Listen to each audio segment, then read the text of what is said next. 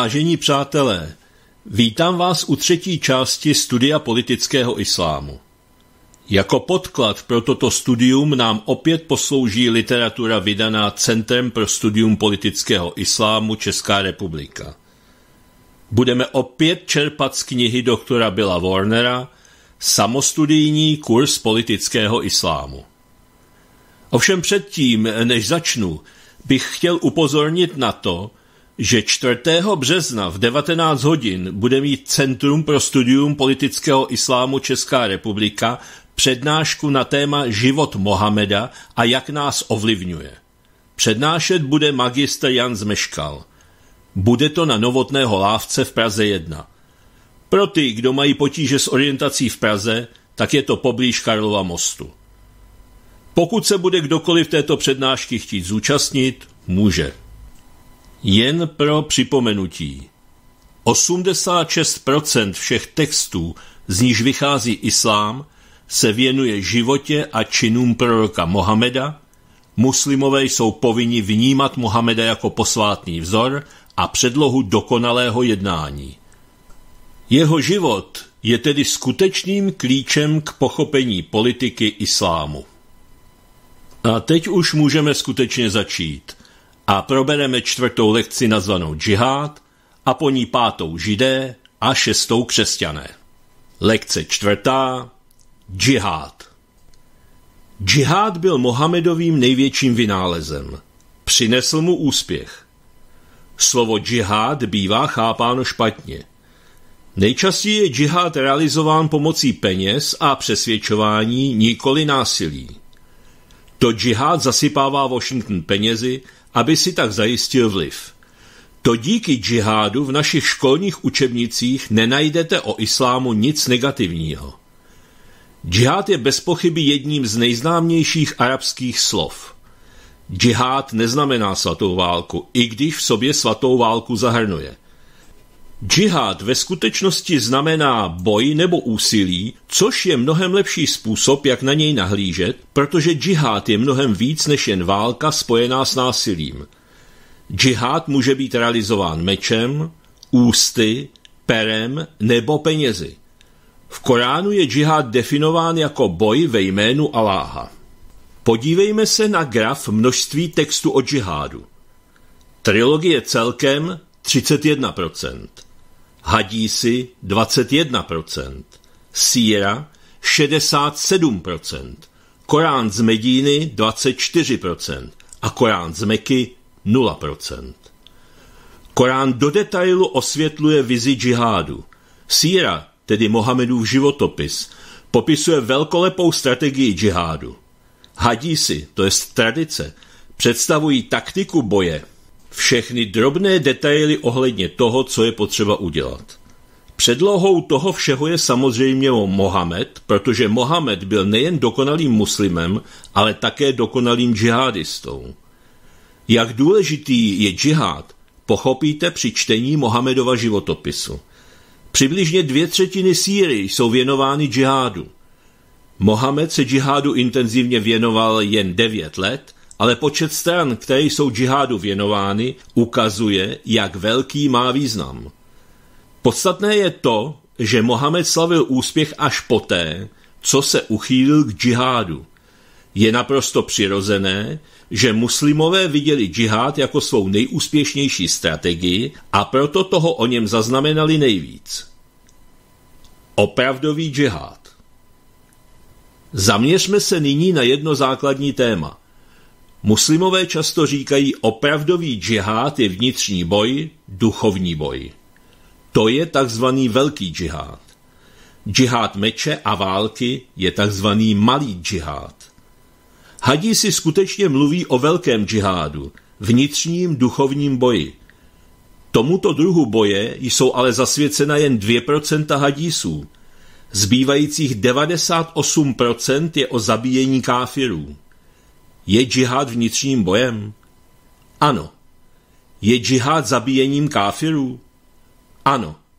Všimněte si, že tu opět máme dualismus – Existují dva způsoby, jak na džihad nahlížet. Muslim si může vybrat ten, který se mu v daný okamžik nejlépe hodí. Podívejme se na příklad, který si všichni dobře pamatují. 11. září 2001 došlo k džihadistickému útoku muslimů na Světové obchodní centrum a Pentagon. Muslimové tvrdili, že džihadisté zneužili jejich náboženství. Když se však podíváme na džihad podle toho, jak vychází z Koránu, síry a hadísů, zjistíte, že celé 11. září bylo v naprostém souladu s těmito základními texty. Světové obchodní centrum nebylo džihadisty napadeno poprvé. V roce 1993 se pokusili dvojčata zničit pomocí masivní nálože umístěné v suterénu budovy. Tehdy se jim to nepodařilo. To ale nebylo podstatné, protože po druhé už to vyšlo. Na druhý pokus pilně trénovali. Když se obě budovy 11. září zhroutily k zemi, celé to již měli mnohokrát naskoušené, jako předloha jim sloužil příklad z Mohameda. Když se Mohamed dal na džihad a poprvé vyslal své muže zabíjet a loupit, vrátili se s nepořízenou. Nenašli nikoho, koho by mohli okrást. Druhý pokus skončil také nezdarem, stejně jako třetí a několik dalších. Uspěli až při osmém pokusu. 11. září bylo přesně jako Mohamedův džihad. Další věc, kterou měly tyto události společnou, byla, že muslimové po 11. září prohlašovali, to my jsme ve skutečnosti oběti, to muslimům bylo ublíženo. Opět to udělali přesně tak, jak jednal Mohamed. Když byl jeho osmý útok úspěšný, Arabové ho obvinili, že porušil veškerá pravidla války, protože zaútočil během posvátného měsíce Ramadánu. Na to Korán odpověděl, že to, co udělali obyvatelé Meky, i káfíři, Mohamedovi, bylo mnohem horší, než někoho zabít. Je pravda, že Arabové Mohameda vyhnali z Meky, ale nikomu neublížili. Když muslimové zabili káfiry, tvrdili, to my jsme ve skutečnosti oběti, ne ti mrtví káfiři. Další aspekt, ve kterém 11. září následovalo Mohamedův příklad, byl, že muslimové prohlašovali jsme náboženství míru. Náboženství islámu posloužilo jako závoj, za kterým se skryl politický akt džihádu. Tak se to dělalo i dříve. Mohamed své politické činy vždy prezentoval jako náboženskou nezbytnost. Muslimové si Světové obchodní centrum vybrali za cíl svého útoku ze dvou důvodů. Prvním důvodem bylo, že se jednalo o obchodní centrum, centrum biznisu. Al-Qaida a Usama bin Laden doufali, že zničením světového obchodního centra paralyzují americkou ekonomiku. Kdykoliv jen to bylo možné, džihad útočí na ekonomiku. Cílem Mohamedových nájezdů na karavany bylo získat majetek a připravit o něj káfiry. Tradiční džihad a 11. září. Když Mohamed napadal města a ničil i přilehlá hospodářství, stejně jako v případě 11. září se jednalo o ekonomické útoky.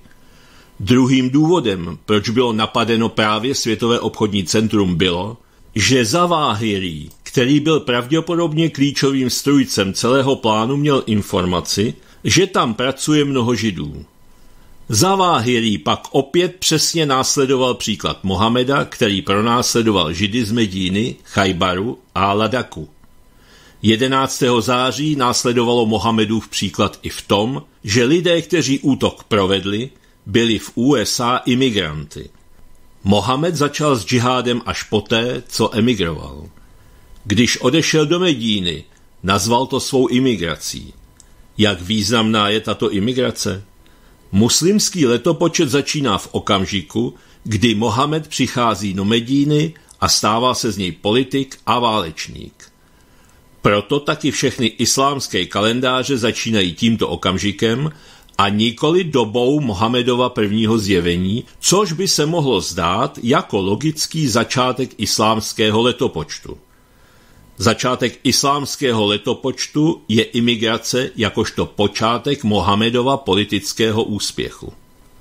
11. září následovalo Mohamedovi metody i v tom, že šlo o nenadálý útok. Mohamed útočil náhle a bez varování, kdykoliv to bylo možné.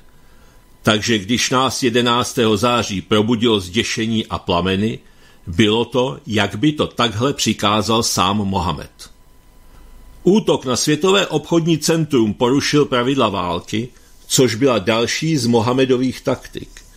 Jedním z důvodů, proč Mohamed Araby pokaždé porazil, bylo, že od něj očekávali hru podle pravidel. Ostatně před nástupem Mohameda existovala zavedená válečná pravidla. Jakmile však Mohamed přišel s džihádem, všechna tato pravidla zavrhl. Bratr zabíjel bratra, otec syna, jeden příslušník kmene šel do války proti druhému. To bylo proti všem válečným pravidlům Arabů. Mohamed ale věděl, jak zvítězit, porušením pravidel.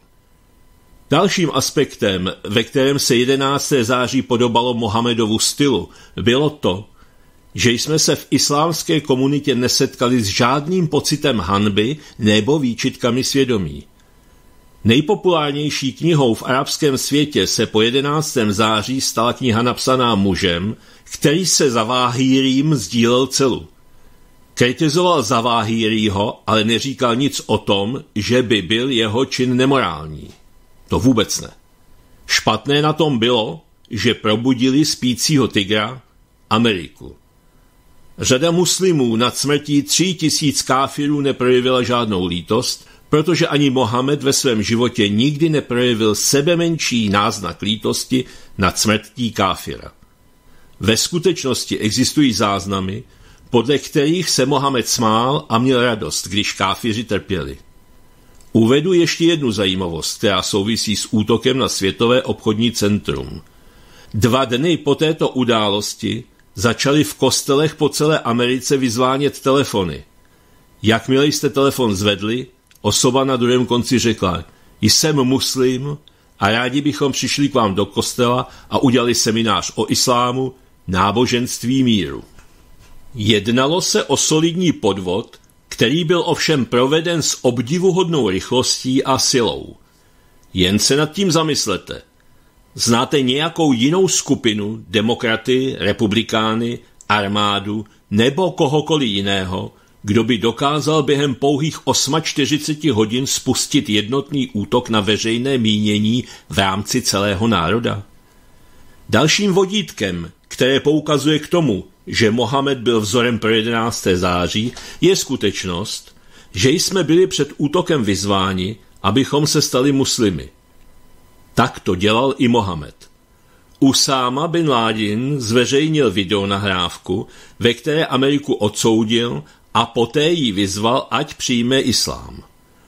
Pokud by Amerika byla bývala islám přijal za své náboženství, v tomto případě nejspíše, kdyby se George Bush rozhodl stát muslimem, pak by k žádnému útoku nikdy nedošlo. Nejdříve se objevila výzva k přijetí islámu. Vše se dělo podle dokonalého vzoru Mohamedova džihádu. 11. září bylo obraným útokem. Džihad je z podstaty defenzivní, protože káfiři útočili jako první tím, že popírají Mohameda. Káfiři tedy Aláha již urazili. Po útoku následuje obraný útok. Kdyby neexistovali káfiři, nebyl by ani žádný džihad. A to nás přivádí ještě k jedné věci, kterou je potřeba vědět. Podle islámské doktríny je džihad věčný a je pro všechny muslimy povinností. Džihad neustane, dokud se poslední káfir nepodrobí islámu. Dokud budou existovat káfiři, bude existovat i džihad.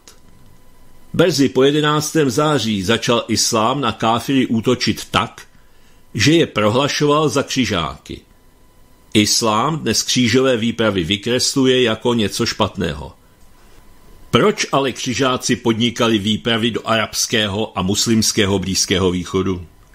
Vydali se na pomoc křesťanům, kteří oni zoufale prosili.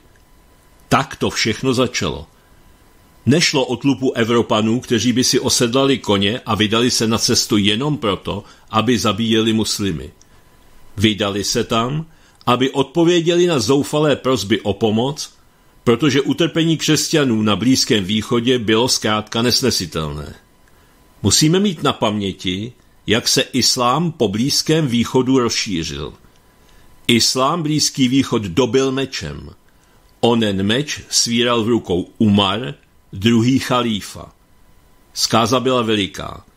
Ve skutečnosti tedy byly křížové výpravy jedním z mála období v dějinách, kdy se káfiři odhodlali pomoci jiným káfirům, na které džihad útočil. Jiný druh džihádu. Řekli jsme, že džihad je pro všechny muslimy povinností. Když máte v práci kolegu muslima, může se podílet na džihádu i přesto, že nechodí opásaný výbušninami a nevyhazuje lidi do povětří. Po 11. září se FBI vydala po stopě peněz. Bylo zjištěno, že řada muslimů napříč Spojenými státy přispívala poměrně štědrými částkami organizacím, které se nazývají charitami, svědomím, že peníze půjdou na podporu džihádu. Když muslim vypíše šek na podporu džihádu, stává se sám džihadistou. Když muslim řekne, ne, ne, džihad, svatá válka, to není naše cesta. Naší cestou je náboženství míru. Pak je toto popírání aktem džihádu. Nejrozsáhlejší džihad, k jakému dnes v Americe dochází, je dílem Saudské Arábie a dalších zemí Blízkého východu. Místo meče používají dolar. Saudové, respektive Saudská Arábie, investují každoročně trojnásobek toho, co Sovětský svaz vynakládal na šíření komunismu. Saudové šíří islám i šaríu. Pumpují do této země, tedy Spojených států, ohromné množství peněz. Většina mešit je postavena za peníze Saudů a tudíž se o mešity starají imámové, které vybírají Saudové.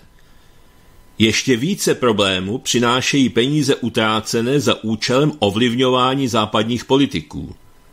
Washington je zaplaven penězi, které pocházejí z Blízkého východu a tyto peníze se používají k tomu, aby kupovali hlasy, ovlivňovali jednotlivé lidi a spouštěli politické kampaně. Pokud jste muslim a chcete v USA kandidovat na politický post, nebudete mít problém s financováním své kampaně. Muslim, který chce v Americe udělat něco, co je přínosné pro islám, má zametenou cestičku. Džihad se dá vést penězi a Saudové jej používají ve velkém, stejně jako to dělal Mohamed. Mohamedova poslední slova zněla V Arábii nesmí zůstat ani jediný žid nebo křesťan. Nepřestávejte podplácet káfirské vyslance. A to je něco, co Saudové dělají. Ovlivňují káfirské vyslance a dělají to dobře. Muslimové dále používají peníze ve prospěch džihádu k ovlivňování našeho vzdělávacího systému. Žádná učebnice, ve které se píše o islámu, se nesmí používat, pokud nebyla schválena muslimskou komisí. V důsledku toho se na školách vyučuje o islámu jedině jako o velkolepém náboženství, nikoli o velkolepém politickém systému. Nikde není zmínka o zabití 270 milionů káfirů v průběhu 1400 let. V těchto učebnicích nenajdete Dhejmího, káfira, který je polovičním otrokem. Podle těchto učebnic islám dobýval území, aniž by přitom někdo trpěl. Nikde nepadne zmínka o tom, jak klíčovou roli islám sehrál během 1400 let otrokářství. Tato propaganda, která v učebnicích islám vychvaluje, je džihádem. Ale džihad ve vzdělávání nekončí učebnicemi. Saudové sponzorují ohromnými částkami oddělení historie Blízkého východu, arabistiky a náboženství, které spadají pod univerzity. Tyto obrovské finanční částky jsou určeny k ovlivnění způsobu, jakým jsou vyučovány dějiny, náboženství a politologie. Ohromné sumy peněz se dále nalévají do profesur podporovaných Saudy. Studium islámu na amerických univerzitách probíhá podle osnov schválených Saudy. Džihad, který probíhá ve vzdělávacím systému prostřednictvím dolarů, je mnohem nebezpečnější než džihad vedený mečem. Dalším příkladem džihádu je skutečnost, že na kohokoliv, kdo by se islámu vyjadřoval v médiích, bude vyvíjen tlak a bude mu vyhrožováno soudní žalobou. Muslimové velmi efektivně využívají naše občanská práva k zastrašování a k tomu, aby se ujistili, že nikdo o islámu neřekne nic, co by se jim nelíbilo. Protože, jak víte, svoboda slova není součástí suny, Mohamedova způsobu života. Násilný džihad není v naší kultuře tak důležitý. Důležité je, že vůbec nechápeme, co se děje. Nechápeme, že když se k ovlivňování politiků, médií, škol používají peníze, jedná se o džihad. Nejde o to, že by byl islám tak silný, ale že o něm víme tak málo a to nás činí nesmírně zranitelnými. Džihad je nejsilnější politická myšlenka, kterou islám disponuje. Může být veden mečem, perem, ústy i penězi. Mohamedův život poskytuje islámu dokonalý příklad taktiky a strategie džihádu. Útok na Světové obchodní centrum je učebnicovým příkladem džihádu, nejmocnější formou džihádu je však islamizace naší kultury. Teď si uděláme kratičkou pauzu a po ní budeme pokračovat. Krátká pauza skončila a my pokračujeme.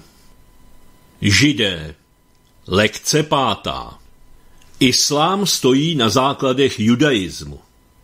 Mohamed využíval Židy k tomu, aby se mohl prohlášovat za proroka. Židé se poté stali příkladem toho, co se stane každému, kdo bude klást odpor politickému islámu. Židé byli zabíjeni, okrádáni, popravováni, znásilňováni, zotročováni, unášeni, stali se prvními dhýmí, tedy polovičními otroky, a byli vyhošťováni. Mohamed stojí za veškerou nenávistí muslimů vůči současným židům. Židé hrají v utváření islámu důležitou roli. Dá se říci, že kdyby neexistovali židé, neexistoval by ani islám. Důvod můžeme najít v Koránu. Když měl Mohamed svou první vizi, kterou nikdo jiný neviděl, a když slyšel hlasy, řekl o nich, že patří archandělu Gabrielovi. To je důležité, protože Gabriel je součástí židovské tradice. Mohamed od začátku tvrdil, že je skutečným Aláhovým prorokem, protože vychází ze stejných základů jako proroci ve starém zákoně. Když Mohamed začal v Mekce vyprávět příběh o Noémovi, Adamovi a Mojžíšovi, žádní židé u toho nebyli. Postavy byly stejné, ale příběhy se lišily. Například v židovských svatých textech popisuje příběh Mojžíše a faraona osvobození otroků, kteří byli židy. V Koránu je příběh Mojžíše a faraona spíše o tom, že faraon neuznal Mojžíše za proroka a proto byli egyptiané zničeni. V příběhu o Noémovi se přihodilo to samé. Aláh zatopil svět vodou proto, že lidé nevěřili, že je Noé Aláhovým prorokem. A takto příběhy pokračují dále. Všechny byly pozměněny, aby prosadili hlavní tvrzení Koránu, že každý musí poslouchat Aláhova proroka a řídit se ve svém jednání jeho slovy. Poselstvím Koránu je rozdělení světa na ty, kteří Mohamedovi věří, a ty, kteří mu nevěří. Pokud by tedy v Mekce byli židé, řekli by, moment, takhle ten příběh se neodehrál. Korán tvrdí, že příběhy ve starém zákoně jsou sfalšované. Adam, Noé, Mojžíš, David a Šalamoun, ti všichni prorokovali, že se jednoho dne zjeví poslední Aláhův posel Mohamed. Židé však všechna tato proroctví zničili. Podle Koránu je možné skutečné svaté texty židů najít v Koránu. Dnešní nenávist islámu vůči židům. Mekánský Korán na židy zpočátku nahlíží přívětivě. Ale podívejme se, co o židech v současném světě islám tvrdí. Zprávy o muslimské nenávisti vůči židům jsou v Evropě naprosto běžné. Uvádím zde několik prohlášení muslimských politických vůdců současnosti. Bývalý turecký premiér například před davem lidí prohlásil, že židé jsou bakterie a podobají se nemoci. V islámském světě se velká nenávist vůči židům šíří prostřednictvím každodenního televizního vysílání. Zde jsou některá z běžných prohlášení, která se týkají židů. Egyptský duchovní Abdullah Samak, židé, kteří zabíjejí proroky, jsou známí pro svou nemilosrdnou, vražednou a po krvi dychtící povahu. Prezident Amerického centra pro výzkum islámu dr. Salah Sultán. Židé vraždí nežidy a používají jejich krev k výrobě obětního chleba. Egyptský islámský badatel Abdn al-Khalek al-Sharif.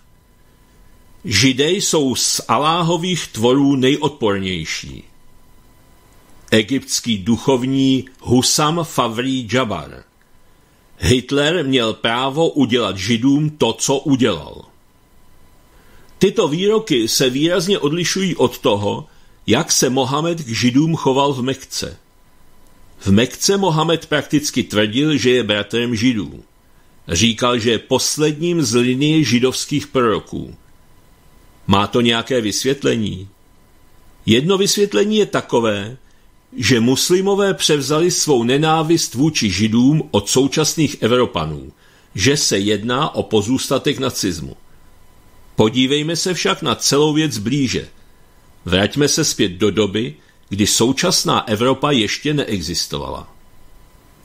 Nenávist vůči židům ve středověku Ve Španělsku na počátku 11. století řekl Ibn Hazm – jsou nejzvrácenější a nejodpornější z lidí, jejich bezbožnost je ohavná, jejich nevědomost odporná.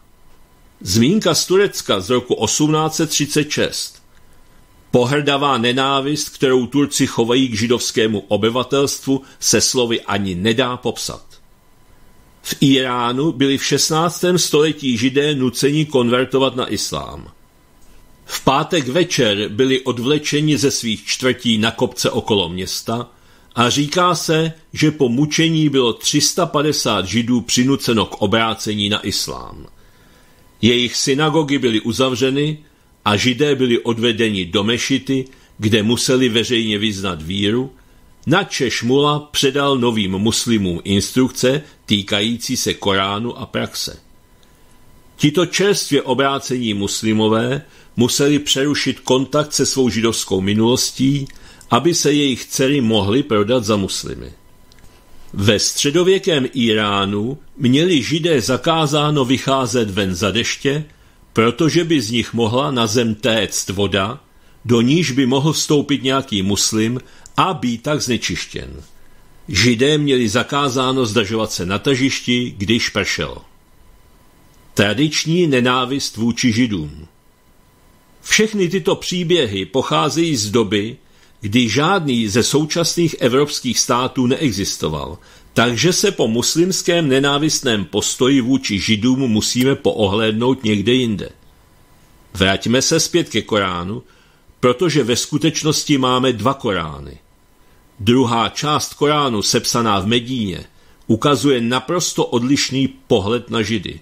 V Medíně bylo Židů hodně. Žili tam tři kmeny, které tvořily polovinu obyvatelstva. Když Mohamed přišel do Medíny, netrvalo dlouho a židé ho začali upozorňovat na to, že není prorokem v jejich linii. Mohamedovi nesměl nikdo odporovat, takže se Mohamed o problém brzy postaral. Přibližně po roce už měl dost velkou politickou moc na to, aby na jeden z židovských kmenů mohl zaútočit. Porazil je zabavil jim veškeré peníze a vyhnal je z Medíny. Nedlouho na to našel záminku, aby napadl druhý židovský kmen. Zajal je, následně ukořistil veškeré jejich bohatství a vyhnal je. Třetí útok byl proti nejsilnějšímu z židovských kmenů. Poté, co se židé vzdali, byli muži odděleni od žen a dětí. Muži byli odvedeni na tržiště a jednomu po druhém byla setnuta hlava. Jednalo se o všech 800 mužů. Mohamed tam celý den seděl a událost sledoval společně se svou 12-letou ženou Aishou. Popravy pokračovaly dlouho do noci, v 10 hodin večer za světla pochodní přišel o hlavu poslední žid. Židovských dětí se ujali muslimské rodiny a byli tak vychováni jako muslimové. Ženy Mohamed po velkých skupinách rozprodal do otroctví. Tento příběh zná každý muslim. Ani po likvidaci židů z Medíny se Mohamed ve svých výpadech nezastavil. Odešel na sever do Chajbaru, kde žili bohatí židé. Mohamed je obléhal a poté, co se vzdali, ukořistil veškerý jejich majetek. Tentokrát je však nezabil. Mrtvý žid vám nevydělá žádné peníze. Mohamed vytvořil novou formu lidských bytostí, kterým se říká dhýmí. Dhýmí žili ve zcela muslimském světě. Žid směl být židem jen doma nebo v synagoze. Veškerá kultura, pravidla a politické praktiky byly muslimské. Dhýmí museli platit daň džizju. Polovina všeho, co vydělávali, se odevzdávala islámu a Mohamedovi. V Koránu se dále píše, že kromě toho, že dhýmí musí platit daně, musí být také podrobeni. Umar se stal chalífou, nejvyšším vládcem všeho, co souvisí s islámem a tři roky na to vyhnal židy z Arábie. Od té doby v Arábii žádní židé nejsou. Saudská Arábie vznikla důsledkem náboženské segregace. Korán zachází v popisu židů ještě dále. Nazývá je opicemi. Existuje fatva, která prohlašuje, že židé jsou opice a prasata. Současný učenec islámu si své tvrzení o židech nevymyslel. Mohamed k tomu ještě dodává, že židé jsou krysy. Máme tedy k dispozici dva naprosto odlišné pohledy na židy. To je dualismus. Jeden pohled na židy je, že židé a muslimové uctívají stejného boha. Jsou tedy bratry. Další pohled na židy je, že jsou opice a krysy. Jedná se o dva protichůdné názory, ale v důsledku duality uvnitř islámu jsou oba pravdivé. Muslim může židovi říci, uctívejme stejného boha, jsme bratry ve víře. Nebo může říci, že židé jsou opice a krysy. Současná nenávist vůči židům. Přesuňme se z Medíny do dnešní doby – v dnešní době panuje mezi Židy a muslimy jisté napětí. Známe ho jako izraelsko-palestinský konflikt. Je důležité vědět, že oficiální stanovisko izraelské vlády je, že islám nehraje v izraelských potížích žádnou roli. Poslechněme si, co říkají palestinští vůdci. Zde je tvrzení jednoho z nich. Podporuji Palestinu, podporuji džihad. Izraelci prohlašují, že tento problém je čistě současný a politický spor. Jedná se o boj mezi národy v rámci jednoho státu. Džihad však není novodobý pojem. Džihad je pojem starých 14 let. Vůdce Hamásu řekl, Korán pro Židy, používal výraz, které mají blíže ke zvířatům nežli k lidským bytostem – Židé měli stejné společenské postavení jako osly nesoucí knihy a byli přirovnáváni k opicím a prasatům. Dnešní Izraelci jsou potomci opic a prasat. Jiný vůdce řekl, prorok Mohamed předpověděl, že soudný den nastane pouze tehdy, když budou muslimové bojovat proti židům. Muslimové židy pobíjí a kameny a stromy řeknou, služebníku Aláhův, za mnou je žid. Přijď a zabij ho. Jiný islámský vůdce říká, Aláhovým přáním je, abychom vstoupili do Izraele jako vítězové a osvoboditelé, nikoli jako prostřednictvím vyjednávání, ale skrze džihad. Máme k dispozici dva velmi rozdílné pohledy na izraelskou otázku. V současnosti židé odmítají připustit, že by měl islám s izraelským sporem cokoliv společného. Muslimové naproti tomu tvrdí, že islám požaduje, aby byl Izrael džihádem zcela zničen. Měli jsme možnost nahlédnout do historie židů v islámu a vidět, že je Mohamed zotorčoval, vraždil a učinil z nich první dhýmí. V tomto jednom slově dhýmí můžeme najít důvod, proč si židé a křesťané nepřipouštějí problémy, které v souvislosti s islámem mají. Byli zabíjeni, ponižováni a zneucťováni. Židé a křesťané byli dhýmí. Ať už to bylo jakkoliv v severní Africe, Španělsku, Turecku či Egyptě, s dhýmí se zacházelo špatně. Nikdo si nechce pamatovat tuto děsivou historii, proto popírají, že vůbec existovala. Lži. Místo toho, aby vykládali tuto 14 let starou historii zahambení, vytvořili židovští učenci nádhernou lež. Lež o zlatém věku islámu. Tvrdí, že v islámském Španělsku existovala vysoce rozvinutá civilizace. Že se jednalo o kulturu tolerance a ohromný intelektuální rozkvět. Na tomto tvrzení je špetka pravdy, protože tam žila hrstka židů a křesťanů, kteří byli úspěšní a působili na vysokých pozicích ve vládě, kde zastávali role poradců nebo jiné funkce. Avšak nazývat to zlatým věkem je elitářský pohled, protože jen velmi malá část lidí prosperovala. Co pak se dá mluvit o zlatém věku, když se ke káfirům přistupuje jako dhýmí? Co pak se dá mluvit o zlatém věku, když Evropané bojovali 700 let, aby Španělsko osvobodili od islámu? Mohou židovští učenci toto historické období nazývat zlatým věkem, když bylo v Granadě během jednoho dne zabito čtyři tisíce židů? Ve Španělsku možná bylo několik náznaků vysoce rozvinuté kultury, ale nejednalo se o zlatý věk. Dějiny Dhimí vysvětlují ztrátu paměti týkající se historie islámu a židů. Je to příliš zlá historie.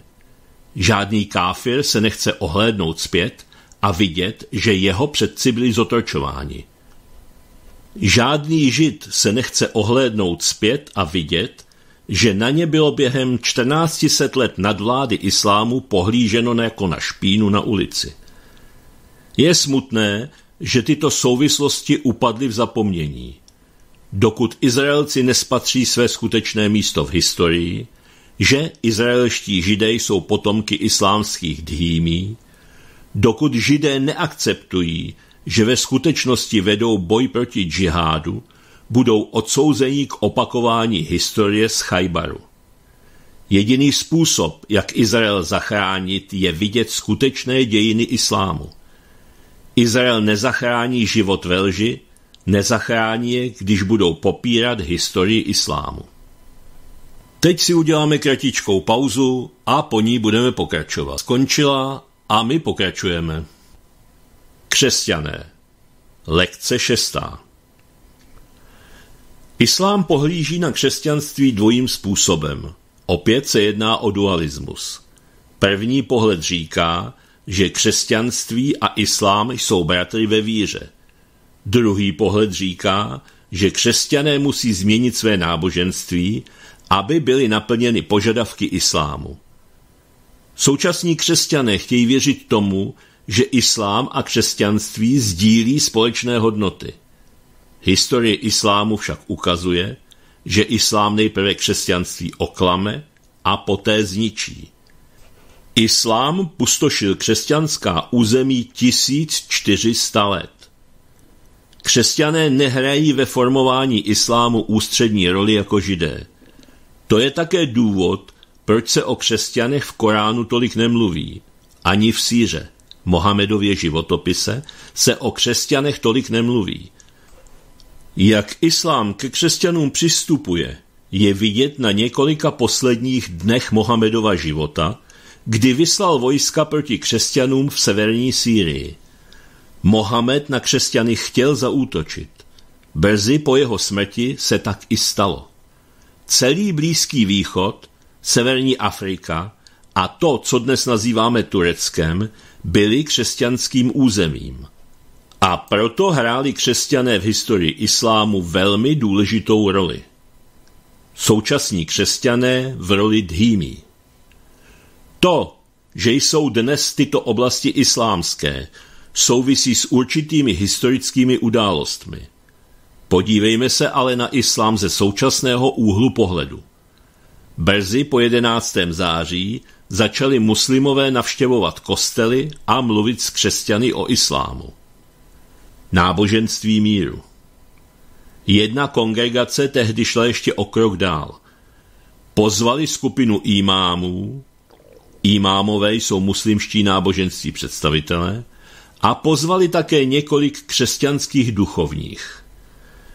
Křesťané v onen večer přicházeli jednotlivě či po dvojicích. Potom, přibližně v čase, kdy mělo setkání začít, vešli všichni muslimové. Imámové přišli na pódium jako skupina a muslimští muži dorazili v zápětí. Obsadili sedadla okolo křesťanů. A poté vešly muslimské ženy. Všechny byly od hlavy k patě zahaleny v černém a usadili se do zadních řad, jako muslimské ženy věděli, kde je jejich místo při veřejných schromážděních. Úplně nejdřív jeden z imámů přišel k řečnickému pultu, položil na něj veliký Korán a otevřel ho v půlce. Šlo o symbolický akt, který byl příznačný pro celý večer. Křesťané to nebrali nějak vážně, ale pro muslimy to bylo vyjádření toho, kým jsou. Slovo islám znamená podrobení. Toto podrobení má několik významů. Pro muslima to znamená podrobit se Koránu, vůli Aláha a Mohamedově suně. A všichni muslimové mají povinnost přinutit všechny nemuslimy, aby se jim podřídili. Byli v sále proto, aby nad ostatními dominovali. Muslimové tak z Koránu učinili ústřední bod nadvlády, protože to bylo místo, kde měla být umístěna Bible. Tento akt nadvlády byl pro večer symbolický. Jeden z imámů povstal a začal mluvit. Nejprve řekl, že křesťané a muslimové uctívají stejného boha. Vypadalo to jako v celku povedený začátek.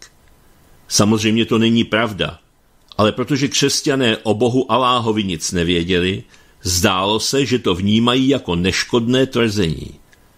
Imám pokračoval ve svém projevu a řekl, že i oni uctívají Ježíše, protože Ježíš byl Aláhův prorok a muslim. Vysvětlil také, že Ježíš nebyl synem Boha, byl jen muslimským prorokem. Apoštolové byli také muslimové. To asi bylo pro kněze překvapení, ale nic proti tomu nenamítali. Imám pokračoval v projevu a prohlásil, že Ježíš nebyl ukřižován a tedy ani vzkříšen. Následně křesťanům řekl, že pojem nejsvětější trojice urážkou Aláha. Nic takového jako nejsvětější trojice neexistuje a vytvořili ji křesťanští politeisté. To, že islám křesťany považuje za politeisty, také vysvětluje situaci, která se odehrála na začátku setkání, kdy kněz všechny vyzval, aby se společně pomodlili. Od imámů přišla téměř panická reakce. Odpověděli, ne, my se s ostatními nemodlíme. To křesťanského kněze docela zmátlo, ale protože tu byli křesťané v roli hostitelů a očekávalo se od nich, že budou milí a zdvořilí, nic neřekl. Tento kněz o islámu nic nevěděl, jak ukázal jeho rozpačitý pohled, a tak mu nešlo do hlavy, proč muslimové odmítají společnou modlitbu. Je to proto, že v islámu se na křesťany pohlíží jako na politeisti. Modlit se s nimi je strašlivý hřích, tak hrozný, že má zvláštní pojmenování. Širk. Korán říká, že pokud by se s křesťany pomodlili, pak by s jistotou šli do pekla. Modlit se s křesťany by byl horší hřích než hromadná vražda. Křesťané opět prokázali, že islámu nerozumí, jinak by muslimy nikdo nepřizval k modlitbě. A nebo by se prostě pomodlili, zatímco by muslimové seděli vedle nich. Muslimové měli jasnou převahu. V křesťanském kostele nesměla proběhnout společná modlitba. Další věc, kterou imám ve svém projevu zmínil, byla, že nový zákon je sfalšovaný dokument a obsahuje mylné informace. Plný omylů je i starý zákon. Co je však nejdůležitější, nový zákon obsahuje mylné informace, protože Aláhův prorok Ježíš předpověděl, že po něm přijde poslední prorok a jeho jméno bude Ahmed. Ahmed a Mohamed jsou dvě formy jednoho jména jako Jan a Honza. Imám řekl, že křesťané toto proroctví z Nového zákona odstranili. Je to jeden z mnoha důvodů, proč má být nový zákon zkrátka chybný. Pokud by křesťané chtěli znát skutečný příběh Ježíše, museli by si přečíst Korán, protože Korán obsahuje přesnou pravdu o Isovi, což je arabské jméno pro Ježíše. Křesťanská nevědomost Představte si, že by se křesťanský kněz postavil a prohlásil, že Mohamed nebyl žádným prorokem, že Korán je dílo, které vzniklo druhotně, že se jedná o knihu, která převzala myšlenky od židů, křesťanů, zoroastriánů a ze starých arabských náboženství a že Aláh byl jen bohem měsíce kmene Kurejšovců. Byla by to obdoba toho, co řekl imám o křesťanství, ale křesťané to ze dvou důvodů neudělali. Za prvé byli v roli hostitelů a chtěli být milí. Druhý důvod byl, že neměli ani tušení o tom, že Korán je nepůvodní dílo. Podle reakcí na otázky z publika bylo zřejmé, že nikdo z křesťanů Korán nečetl, ani nečetl Mohamedovy tradice hadísy. Stejně tak nevěděli nic o Mohamedově životě. Oproti tomu imámové četli nový i starý zákon. Takže o křesťanech všechno věděli, kdežto křesťané o nich nevěděli nic. Takhle probíhal celý večer. Křesťané od muslimů dostávali otázky, které byly 14 let staré. Šlo o banální otázky, které však zastihly kněze nepřipravené. Nikdy předtím o takovém typu otázek nepřemýšleli. Muslimové byli na rozdíl od křesťanů připraveni. Nepřipravenost křesťanů se projevila v okamžiku, kdy jeden kněz začal mluvit negativně o křížových výpravách a omlouvat se za ně. Ukazuje to, že o křížových výpravách nic nevěděl. Křížové výpravy se opravdu neobešly bez chyb, ale celkem šlo o velmi přínosnou věc. A proč byly křížové výpravy dobré? Jednalo se o jedno z mála období, kdy evropští křesťané projevili solidaritu s intenzivním utrpením křesťanů na Blízkém východě. Důvody, které vedly ke křížovým výpravám, byly prosté. Výpravy byly reakcí na zoufalé prozby o pomoc. A proč křesťané žádali o pomoc? Protože byli pod nadvládou muslimů zabíjeni, okrádáni a platili jim neúnosně vysoké daně. Jak se tito muslimové stali jejich pány?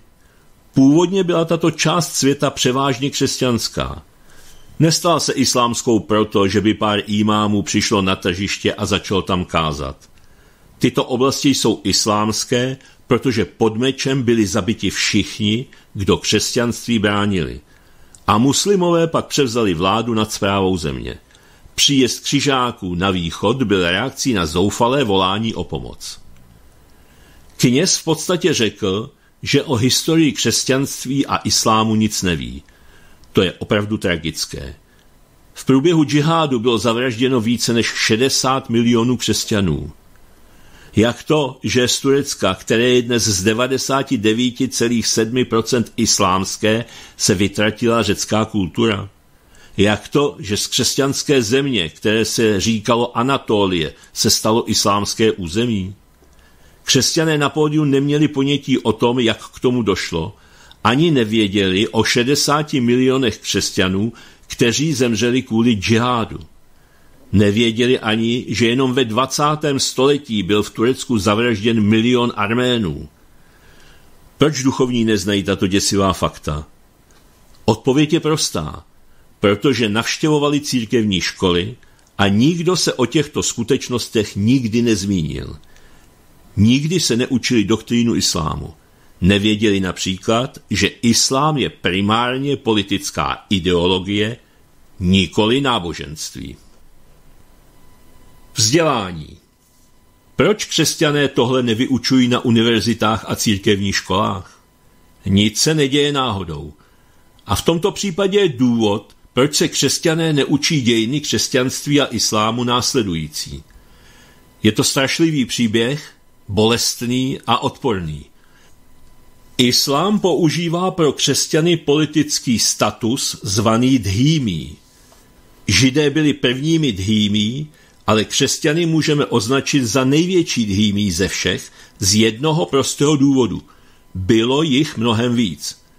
Když muslimové přišli na nová území, převzali vládu a zavedli islámské právo šaria, jež určovalo, jak se má s křesťany a židy zacházet na veřejnosti a při soudních sporech. Bylo to strašné. Dhýmí neměli žádná občanská práva. Tato historie křesťanů v roli dhýmí a zvláštní daně, které museli platit, jsou strašlivě ponižující. Jedná se o ostudnou historii, jejíž součástí je smrt 60 milionů křesťanů. Žádný z křesťanů na pódiu nevěděl, co se stalo se sedmi církvemi Ázie. O těchto sedmi církvích se pojednává ve zjevení Janově v Novém zákoně. Sedm církví se nacházelo v Malé Azii, což byla dříve Anatolie, dnešní Turecko. Křesťané nevědí, co se s těmito církvemi stalo, což je opravdu nešťastné, protože zničení těchto církví ukazuje historii islámu. Křesťané se o islám nezajímali natolik, aby věděli, že při džihádu o život přišlo nejen 60 milionů křesťanů, ale také 80 milionů hinduistů, 10 milionů buddhistů a 120 milionů Afričanů. Křesťané na pódiu tehdy nevěděli dost na to, aby je napadlo zeptat se na otroctví. Tato otázka by byla na místě, kdyby všichni otroci, které bílí získali, pocházeli od muslimských obchodníků. Křesťané nevěděli dost na to, aby se zeptali, proč se arabské slovo pro Afričana, abd, používá i pro černého otroka. Onen večer byl názornou ukázkou dvou věcí. Znalostí a síly islámu a toho, že se křesťané předem nepřipravili. Křesťané a všichni káfiři by měli vědět, jak používat zlaté pravidlo, aby mohli kritizovat islám. Křesťané a všichni káfiři by měli znát Mohamedův životní příběh. Všichni káfiři by měli vědět o Koránu dost na to, aby když muslim řekne, že křesťané, židé a muslimové uctívají stejného boha, mohli předložit argumenty, které ukáží, že to zkrátka není pravda. Všichni káfiři, nejen křesťané, by měli být schopni diskutovat na téma politický islám, pokud ne s muslimem, tak s kolegy v práci nebo kdekoliv jinde. Jaký pádný důvod může mít někdo k tomu, aby ignoroval historii politického islámu?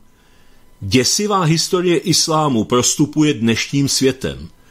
Jako příklad nám může posloužit Irák, který měl vždy křesťanskou většinu a teď je křesťanský pouze z 5%. Z jakého důvodu jsou křesťané pronásledováni? V Africe křesťané umírají takřka denně. Jak můžeme těmto lidem pomoci? To, co se děje křesťanům, se děje i hinduistům, buddhistům a ateistům. Islám nerozlišuje. Všichni káfiři se musí podrobit. Pokud znáte dějiny islámu a jeho politickou doktrínu, můžete být užitečnější v debatě o skutečné podstatě islámu. A znalost islámu nesouvisí jen schopností diskutovat při veřejných debatách. Znalost islámu zvýší vaši vnímavost, takže změníte své politické přesvědčení, pochopíte, že nejen, že islám v minulosti zabil 270 milionů káfirů, ale že v tom pokračuje i dnes. Kafirská civilizace je dnes a denně islámem likvidována. Tomuto ničení můžeme zabránit jednoduše.